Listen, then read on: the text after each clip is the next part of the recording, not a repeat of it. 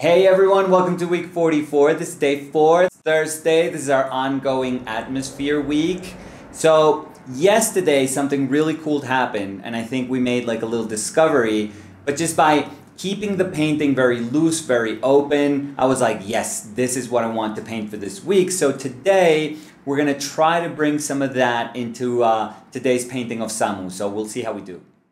Okay, let's get started. Uh, this is day four, this is Thursday. This is our ongoing atmosphere week. And this week has honestly been a blast for me. Uh, yesterday, I made a ton of discoveries, and it is so cool when, you know, a side of my painting, an aspect of my painting that has been kind of dormant can show up and remind me of really wonderful opportunities that painting is always willing to provide to me if I want to. I always say this, I always preface things by saying this if we want to, because I really do believe that this is a matter of choice. You know, it is a matter of choice the fact that we, you know, close ourselves up from being impacted and influenced by alternative works of art, by alternative manners of solving painting. And it is us who decide if we want to close ourselves up and if we are comfortable with the things that we think we know. I was going to say with the things that we know, but it's best to put it with the things that we think we know. It is a choice to open ourselves up. It is a choice to feel vulnerable. It is a choice to say, I actually don't know much about this. I actually have to embrace my ignorance and say, I'm going to be willing to learn from this aspect that I previously had avoided and I have to read and I have to observe and I have to reflect. That requires work. That is actually asking a lot from us. But if we are willing to take on that challenge, if we are willing to put in the time, and if we are willing to maybe feel insecure while we look at other types of works of art, we are going to give ourselves the possibility to learn so, so much. We're not going to just find in art history examples that can justify the way we feel, but what we're going to find is a broader universe that can actually contest the way we feel, that can ask questions about who we are. I think that therein lies the value of art. Art is not really meant to be exclusive. I totally understand when we have a sensibility that we feel is not being echoed in the world that surrounds us, in the uh, societal circles that we move in. And I think that it is only human to feel embraced and it is only human to then feel like we should protect those sensibilities in art that are in accordance to our own. So many times we want to be fierce defenders of what we do because we actually feel like we found a home. We found like minded people and we felt so alone for so long. And then suddenly we feel that there are communities that respect and value those very same things that we respected and we valued. And I think that's maybe one of the reasons why we choose to close ourselves up. We choose to reflect that rejection that we felt. So if we felt shunned by the art world and we suddenly found this niche, we suddenly found this tiny little place we can call home and we have friends in there, we tend to answer back to that initial rejection that we felt. We kind of feel that that is a way to achieve balance. And what I've always told people is that if you open yourself up, it's not going to be easy. You know, a ton of questions are going to be thrown your way, and many times it is going to be hard to answer those questions without ourselves questioning the very things that we thought we knew, the very fundamental aspects of our life. But that's the wonder of art. You know, it actually is helping us to shape ourselves. And I think that in essence, there's nothing wrong about that. Only wonderful things can happen when we embrace that. Why am I speaking about that? Because I think with yesterday's exercise, I kind of reminded myself that I can work with a brushier manner of painting. And I always told myself, I'm not really that painter. You know, sometimes I feel like I don't have the hand to be that painter. I don't have the sensibility to be that painter even though it's a running joke, I always consider myself as heavy handed. And I tried to paint in a way that would not display that heavy handedness. I mean, this is completely true. I had a teacher, Max Ginsberg, who is tied to this long tradition of brushy painters, he himself being an incredible brushy painter. By brushy painter, I mean that there are evident brush marks in the construction of a painting, and those very brush marks can actually configure very complex forms. I always saw Max's teachings as my goal in a way, but I also realized that they didn't come naturally to me. So I kind of avoided that way of working. And I think that even from the beginning, I was much more expressive, so I didn't have the elegance of those brushstrokes. And I kind of convinced myself that that is the person that I am, that is my sensibility. I'm never going to be able to work that way. But it is kind of nice when you sort of embrace it and you say, okay, you know, this painting is asking of me to navigate these abstract qualities of paint that are kind of exemplified by the essence of atmosphere, by the uh, definition of atmosphere. And you know, there are moments through the painting that are asking of me to ground those brush marks and to then configure form to paint a, for example, yesterday, a portrait in shade to give really nice gesture to a coat. Those were some of the things that my painting was asking of me yesterday. And I just kind of organically landed in this manner of working where being brushy just felt like the right way to solve that particular painting. That coupled with the fact that I was using bigger brushes, and to be honest, they were some very nice rosemary synthetic brushes. I think there's a rosemary uh, bristle brush in there, like a bristle flat also. But in essence, they were brushes that could you know, hold a lot of paint and then deposit a lot of paint, leaving a very nice mark behind. So I kind of accepted that. I was like, okay, this is the nature of my tools. The character of these tools is actually enabling me to portray this atmosphere in a very sensuous way. So I was like, yeah, I'm going to do that. That's the painter that I'm going to be today. I'm going to open myself up and I'm going to accept that even though this manner of painting has always made me feel insecure, I'm going to embrace it, I'm going to accept it, and I'm going to give it a shot because what am I going to lose? You know, I've always told people, like, what are you going to lose? Like, what's the worst thing that can happen? That you do a bad painting. That's about it. And if you are in your home alone painting, like, I know it's going to hurt. I know it hurts us to actually acknowledge that we are not as good as we think we are. And we have the evidence for that when we look at a bad painting. But what else is wrong with it? Like, just that, that feeling of not being as good as we think we are, that feeling is probably going to accompany us as human beings for the rest of our lives. You know, every single day, we're probably going to encounter things in life that are asking of us to be a little bit better, you know, that are telling us, hey, you're probably not as good as you think you are. You can do a little bit better. So just try to be better today. So that's all this painting is asking of us. I can understand it, and I've been part of like, you know, bigger workshops. I was part of like a really big classroom as a student, and I've been part of big classrooms as a teacher, and I've taught workshops where there's dozens of people. When we are in a setup where people can actually look at our painting, and when we feel like we are the odd painter there. We're the ugly duckling, where every single person attending that workshop is better than us. Side note, I've had workshops where different people approach me in private because they ask to uh, speak to me in private, where they tell me, you know, I'm looking at everyone's work and I feel like I'm so behind and I feel like I'm the worst painter here. And then somebody approaches me and they say the exact same thing. So this sense of insecurity is just heightened by the fact that we're surrounded by other painters. And when we do a painting that we don't deem effective, that insecurity just bubbles up and it comes to the surface and it takes hold of us because we think that we're not only disappointing ourselves, we're actually showcasing to other people that we are not at their level. We are disappointing other people. So we're not only going to feel bad about ourselves, but we're also choosing, choosing, because again, this is a choice, we're choosing to understand ourselves as the weakest member of this painting community. So we are, in a way, disappointing all those other painters that are around us. That, I think, is the biggest fear when we open ourselves up and we say, I want to try this, but I'm probably going to fail. And I don't want to deal with the pain that's associated with the failure. That I think is the biggest deterrent from us trying to open ourselves up and learn from things that we are ignorant about. And yesterday was a really cool thing for me because it showed me that, hey, you probably see yourself as heavy handed. And there's some truth to this. I mean, I can take a step back and I can objectively look at the way I work.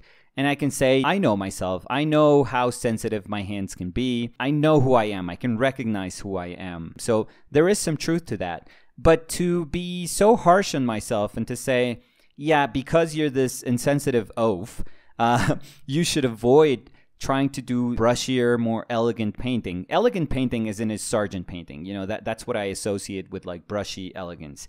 Um, so you're never going to paint like Max. You're certainly never going to paint like Sargent. So just avoid it. You know, do something else. Paint in some other way that's more congruous with the person that you are, with the sensibility that you have. That's the way I always convince myself that I should work. And it's so refreshing. It's so cool when you muster enough courage to say, let's give this a shot. What, what's going to happen? Like, the painting is not going to come out. And who cares? Who gives a crap? Like, if it doesn't come out, it doesn't come out. It's not a good painting. Tomorrow is going to be a new day, and we'll give it another shot. We had a bad day. Or better yet, we're having an experience where we're learning a ton from it. Every single time we struggle, it's an opportunity to learn and to grow. So, in a way, we have been gifted this opportunity, albeit painful, that is giving us a chance to learn about ourselves. And that's amazing. That is amazing. That is the most beautiful thing that painting can actually give you. It's not the ability to make gorgeous paintings so that everyone can adore you and call you a genius. That's nonsense. That's garbage. It's the chance to grow. It's the chance to grow every single day, to become a little bit more sensitive to who you are every single day, in the hopes, and this is what I believe in, in the hopes that, you know, every single day you can be a little bit better but better, not not just a better painter. I mean, that's going to happen if you accompany the painting act with self reflection. But what I believe in is that we can become better as a human being. That is something I deeply believe in. So, yesterday I was very happy with what happened. And I realized it was my responsibility to take that lesson from yesterday and put it to test today. And the way I kind of told myself that I could do that was by saying, okay, my mark making can be elegant and can be charged with really interesting gesture, and I can be sensitive enough. So instead of showcasing those things, instead of feeling like I deserve all this glory because I made this discovery about myself, no, I told myself, do a painting that speaks about those things, but do a painting that doesn't show off those things. Let the painting speak about your own sensibility, but don't try to do it through fireworks. I mean, you don't need it. You don't need all that attention. At least that's what I tell myself. I've never been keen on attention, so I'm always more comfortable just being kind of like in the shadows. So I told myself, okay, try to put those lessons to good use today and see what you could do. And the best kind of scenario that I came up with was to say, okay, I'm going to do a painting of Samu. I really want that painting to feel like Samu. I want to see if I can tap into the essence of Samu without over explaining who he is, without making it obvious, without making it too evident in the painting. So, how can I do that? And what I found was that if I used his hoodie, if I used this sweater, as a shape, as a very abstract kind of framing shape, where one would suppose that the portrait is actually what the hoodie is framing. The hoodie is actually a device to just frame the portrait. That darker value, it's just a perfect excuse to frame a portrait. To behave almost like a bullseye and enclose this shape that we usually associate as the highest in the hierarchical scale of our painting. So, what happens if this quote unquote framing device doesn't quite frame the uh, portrait? And what happens if that portrait is actually just kind of dissolving into the background? I really love that idea because it kind of goes against more traditional manners of working. And we can actually concentrate on those in upcoming weeks. we can actually do a week of value as a compositional device. I'm going to do that for an upcoming week. But anyways, so this example of Sargent, it's actually one of my favorite favorite Sargent paintings. I think it's absolutely brilliant. Shows how you can use value as a compositional device and obviously the choices that he's making are not arbitrary at all. So the fact that the portrait is in shade against, you know, a very light background, the same with the hand, is actually something that Sargent designed in order to be able to tell a story. And because, you know, we've talked about this, our eyes, our human eyes just love contrast.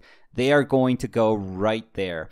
And because there's this beautiful light you know, framing the contour of that portrait. We actually want to investigate what that light is and where it's coming and what it's describing. So that's kind of like the keyhole that we're peeping through. And we've been granted the ability to enter through this keyhole and then accompany the way in which light travels, describing this jumbled mess of uh, bed sheets. It is a perfect way to understand value as a device that is helping you not only travel your painting, but also describe forms in your painting. And again, you know, this is a genius, genius painting by Sargent. But for today, we're actually doing something that's quite the opposite. Instead of using value to highlight the forms that we want to describe, to guarantee that our eye is going to land in those centers of interest, we're saying, no, there's going to be this abstract shape that is the hoodie, and your eye is not really going to be directed towards that portrait because that portrait is actually affected so much by that light of that background that it kind of disappears. The portrait becomes, in a way, almost irrelevant. But that's the thing. It's a moment of the painting that seems to be invisible, but that we have to paint with such a degree of responsibility that it's beautiful. It's beautifully challenging to do that. It's like, how do I put so much effort into this moment of the painting in order for it to become invisible. oh my God. I hope you guys sensed my gasping there, but that is one of the most amazing things in painting because it's kind of easy and predictable to just paint something that has a spotlight on it, right? You know, it's easy to say, hey, this is the most important thing in my painting. And you use a ton of abstract devices to point to that moment of the painting. You know, it almost feels like those devices are like neon arrows just asking you to go to that particular place. But it's also beautiful when we say, hey, this is a portrait where the portrait is actually not important. So, what is the most important moment of the painting? Where is that bullseye in our painting? Like, what is the exclamation point in our painting? Perhaps it's not a bullseye, perhaps it's a little broader than that. And that is atmosphere. You know, we are speaking about air, we're speaking about the traveling of light. When we realize that air doesn't really sit still, you know, that we can't really compress air into just one little shape and say, yeah, this moment has air and the rest of it is just void. the rest of it is just empty space. No, air actually affects everything in the painting. And I think that that's a beautiful thing. And I think that the painting that happened yesterday certainly gave me the uh, strength I needed to paint the painting that I did today. And hopefully, it will give me enough courage to approach tomorrow's painting also because what I want is for this to be this never ending source of energy. I mean, it's going to dry up eventually just because I'm going to start concentrating on another aspect of painting, and that's totally fine. Those moments that are probably going to occupy like different weeks in the upcoming months, they're going to help me put my attention on a very specific aspect of painting, and that's super cool. That's what I want. This never ending feeling of being uncomfortable. I mean, that's probably the worst way to sell painting. It's like, hey, paint because you never want to feel good about yourself ever. but I think that that's magic. I think that that is you know, the underlying truth of painting. And as soon as you embrace that this thing is never going to make you feel like you're this master of painting, you're going to acknowledge that there's never a goal, there's never a finish line, that you're just kind of hobbling through this race that never ends. Uh, I know that may not sound attractive, but I think that's actually the most amazing thing in the world because as soon as you accept it, you realize it's never going to be about making a painting. It's never going to be about thinking that the finish line is a work of art. It's just about me stumbling my way through this path. And because this path doesn't end, this path is going to be my company for the rest of my life. You know, it's always going to be there. And I think that that's pretty cool. So, anyways, that was Atmosphere, day four. Great lessons to be learned from yesterday. Very cool lesson to be learned from today hopefully that will make sense tomorrow. I mean, tomorrow's painting doesn't have to be incredible. It just has to be a painting that reflects upon these learnings. That's all it is. And if it turns out bad, then who cares? There's another week. And our project has a whole other year coming. So, as we told you guys, this is two years. We are super ready to tackle, you know, December and 2021. And after that, we have no idea we know that we're going to be exhausted by then. so uh, we need to find courage and strength in every single painting that we can do.